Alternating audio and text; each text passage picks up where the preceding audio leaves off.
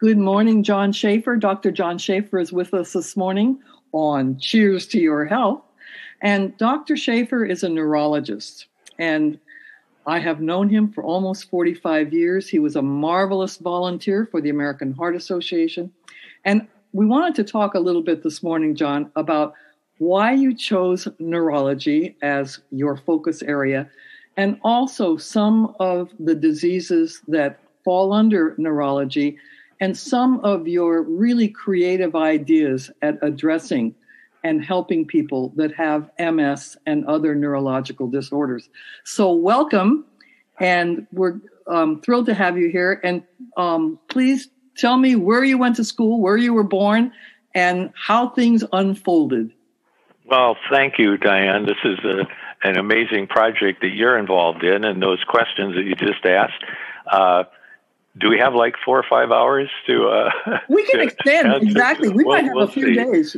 so, so you're right. Yeah, you and I have known each other for a very long time, and in fact, you're responsible for uh, for much of my uh, career and where it ended up. Uh, uh, I just retired, in fact, a month ago, and so uh, it has been after a long career.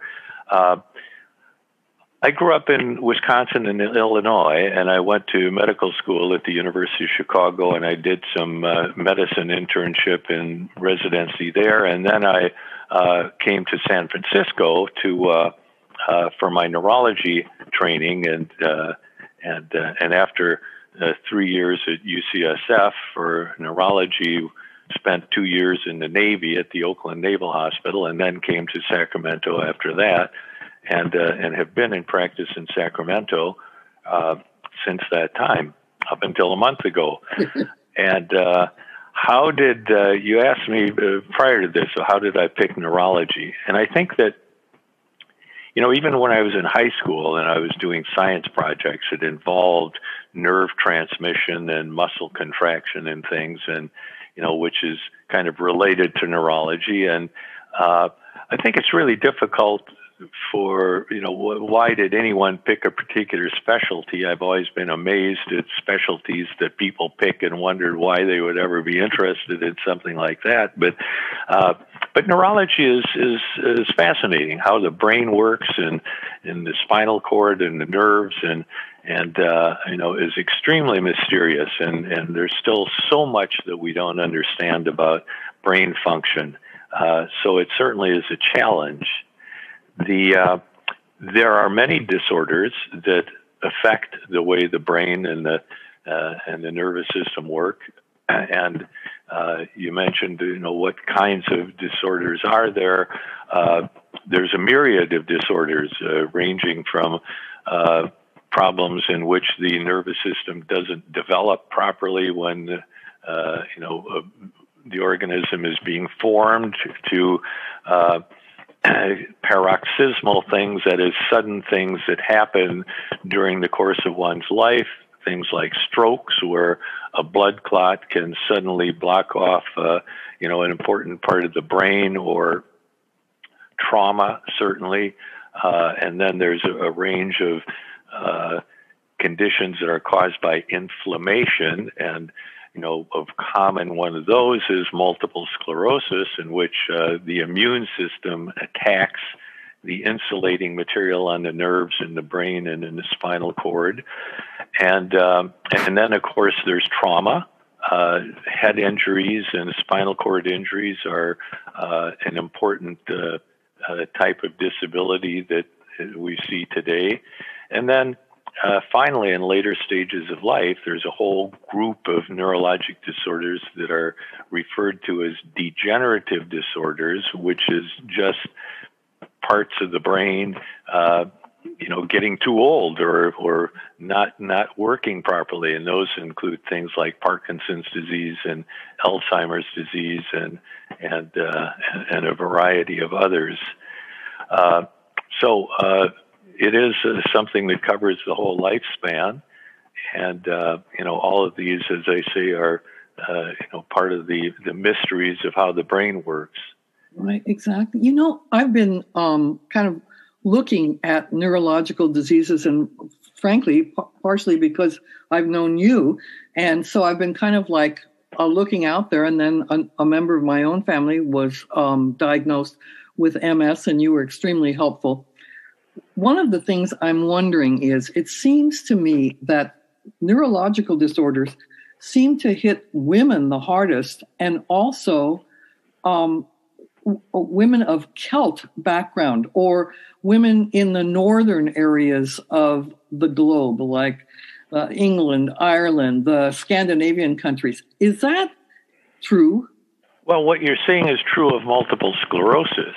Uh, it's not true of neurologic disorders in general. Mm-hmm. Uh, Parkinson's disease and Alzheimer's disease uh, have different predilections, but uh, but multiple sclerosis is uh, there's three or four times as many women as men who are afflicted with multiple sclerosis, and it is uh, something that uh, of, of, Northern European and Scandinavian heritage are uh, have a higher risk of, of, developing multiple sclerosis, and you know probably for a lot of reasons, right. genes being uh, one of those.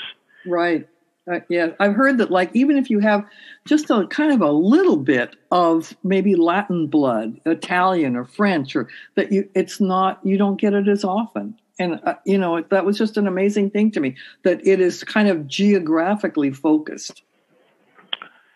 Uh, yeah, yeah. To, to, to an extent, that's true.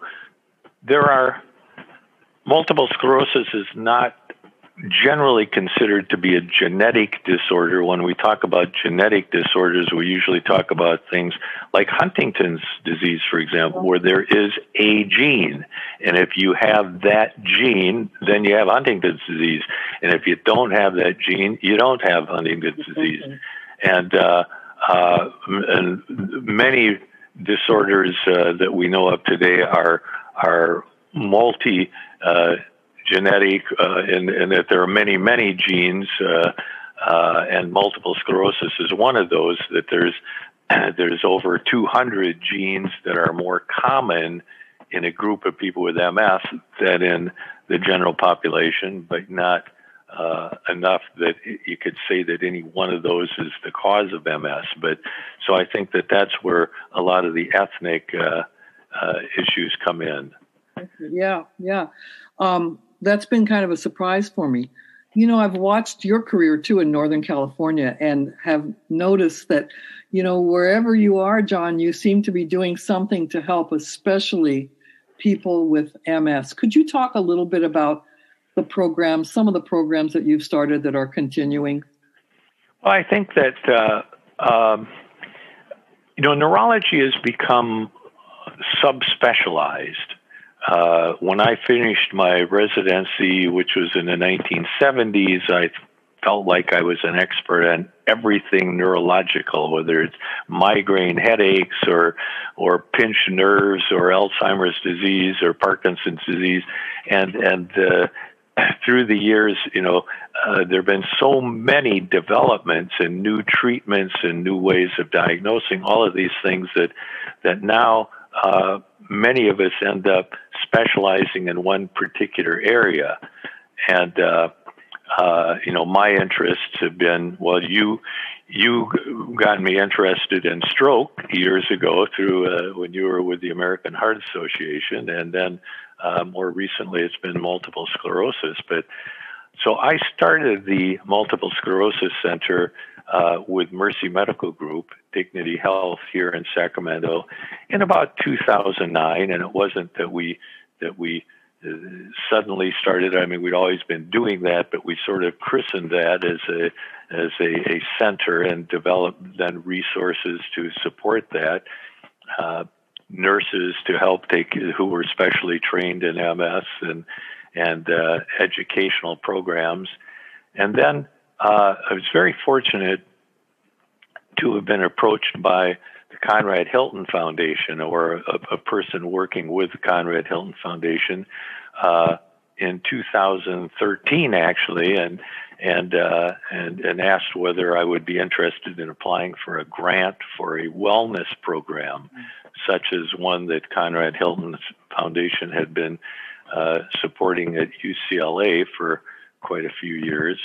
and uh, and I said yes, and uh, and we got a very generous grant to get started, and then some uh, additional grants to to keep it going. But uh, so in 2014, the Multiple Sclerosis Achievement Center opened, and uh, uh, it consists of a, of a weekly program for people with disability from multiple sclerosis, and uh, it's a five-hour program uh, and uh, one day a week that includes uh, physical and cognitive and social and uh, and uh, uh, activities, and and it's and it's the the social aspect of it is absolutely amazing. I mean, it's a it's a uh, uncommon enough disorder that that many people with MS don't know anybody else with MS, and also it affects young people and middle-aged people and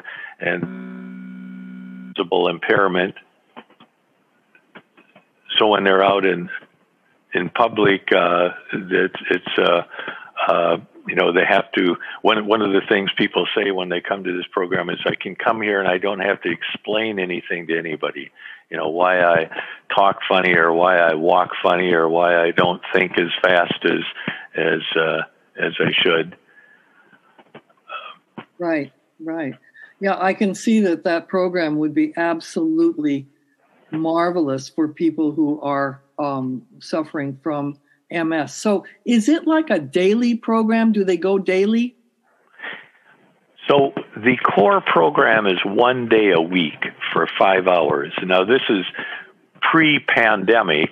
Uh, it's it's been uh, modified during the pandemic, and uh, uh so it's a kind of a, a, hybrid of virtual and in person. But uh, the the full original program is five hours uh, on one day a week, and actually there's one of the days has two shorter programs that kind of overlap for people that that would not be physically able to tolerate the, a full five hours. So it's every week, but but the the connections that are made go uh, uh, every day. That uh, that people uh, exactly. Uh, you know are in contact with each other and form friendships uh, outside of the group. There's also a support partners program. So that, and that's such an important thing. Multiple sclerosis affects not just the person who has it, but their whole family and their relationships. And so there's an ongoing program for the uh, the families uh, the, of, of, people who have MS. And so lots of activities. There's about 100 people who are in the core program, and then uh, in outreach programs. Uh, uh, and then there's also the, the, the MS Center itself has a, a every other month a lecture series for the general public and for people with MS on you know aspects of MS. So a lot of activities and the service that you are providing for these people. It's marvelous. We're going to take a little break now, and we will be back with Dr. John Schafer talking about aspects of neurology on Cheers to Your Health. We're back with Dr. John Schafer, and now we're going to talk a little bit about Alzheimer's disease because we know a lot of people are dealing with family members and friends that have Alzheimer's. So, John, do you have any tips for people who have family members, who have friends who are dealing with Alzheimer's? So, Alzheimer's is a huge problem, and it's going to become even more huge as as the population uh, ages, and uh, it's it's really something that, that people are unprepared for. That is, families are are unprepared for as as a family member develops Alzheimer's disease. Uh, it comes on very slowly. Uh, it uh, it extends over a period of years, and uh, and family members may feel totally helpless when uh, when they experience this, not knowing what's going to happen. And there is enough variability from one person to another that it is often hard to predict just how long is this going to go on and where's it going to end up? My advice to everybody is that um, there are services that are available. There are uh, associations, the Alzheimer's Society and uh, uh, and uh, the uh, Del Oro Caregivers Center uh, are some examples of uh, organizations, and then there's support groups and things that I think are really, really important for people to participate in, uh, just so that they they get a better idea. When I have patients with uh, with Alzheimer's, uh, I have in some cases connected family members from one patient uh, and, and, another patient to, to, you know, where I can see their similarities in the patient that it may be helpful to link with uh, somebody else that's been through it. Everybody's looking for a cure to Alzheimer's or a prevention, and and so far, you know, we don't have it. We all read in the newspaper about exciting things that are happening, and there may be some inroads in in the, in the coming years, but I I think that even those are are going to be modest. Part of the problem is that the the Alzheimer's process begins long before you even know that it's happening. And so, with clinical trials of medications, you know, they take people who who have Alzheimer's disease and give them a medicine and see if it changes them, and it doesn't. But you know, perhaps we need to uh, be taking those medications when somebody's uh, in their 20s or their 30s before the process has even started uh, to see whether they actually have any long term effect. Uh, and so, so that's, uh, but, but I think uh, getting support is just so hugely important because it's a very, very rough road. I would think you'd feel isolated, you know, with a family member and not having dealt with Alzheimer's before. That boy, that it would um, really have some challenges. And so, anything that is uh, helpful to people that are dealing with this, I think is good to know. Do how about things like how you uh, kind of interact with a person that has Alzheimer's? I've heard various things. One thing I've heard is that you should not ask them a lot of questions. That like the do you remember questions? Is have you heard that? You know, I, it's hard to generalize about that. People react very differently. A, a lot of uh, a lot of individuals with Alzheimer's don't believe that there's anything wrong with them, and it's the family member who's saying, "Hey, you know, this is not the person I married. You know, yeah. something's wrong with mom or dad or whatever." Whereas the affected person has no uh, recollection or no recognition of that. And so I think those people, when you're when you're pushing them and poking them and testing them, you know, even within the family, that you know they don't they don't do well with that. Yeah. Of course, as a neurologist, I have to do that. I have to ask them questions and and go through uh, mental status examinations and things, which for some people are very very ignored. the, the uh, uh, I remember, uh, you know, one of the, the mini mental status exam is a long-standing uh, instrument for testing because it, it gives you a score, and on the basis of that score, you can really characterize somebody. And one of them is, you know, write a sentence. You know, I tell you, you know, just write a sentence. You know, anything that you want to, you know, just just write it down. And and so one woman, you know, handed me her paper and it said "Go to hell," and so that's how how many people react to it. But uh, and then I think that you know asking questions that that uh, a lot of times caregivers, especially children, of, of, of, parents who have Alzheimer's, you know, may kind of overdo the the testing, thinking that that maybe they're helping things that if I keep asking you, uh, you know, uh, questions of orientation or memory or that, that, uh, uh that it will help you in some way and it may not. On the other hand, uh, people with, with, uh, with Alzheimer's and other kinds of dementia, what they lose is the, is the immediate memory. they can still remember where they went to third grade and who their junior high school uh, teachers were, and and uh, and so sometimes that's soothing to go back into the uh, memories from from years ago. Uh, uh, when they can't remember what they had for breakfast uh, exactly. an hour ago. Exactly. Is that a general? Uh, could you say that that would be genuinely, genuinely accurate, that people would remember the past much more than what they did yesterday. Particularly in Alzheimer's disease. The problem is encoding new information in your brain.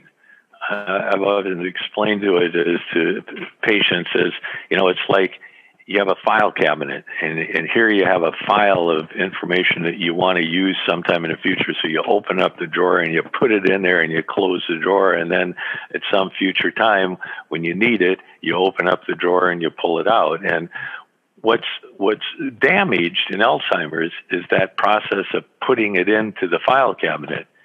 So stuff that's already in the file cabinet you can access you know, and that is the, the distant past memory.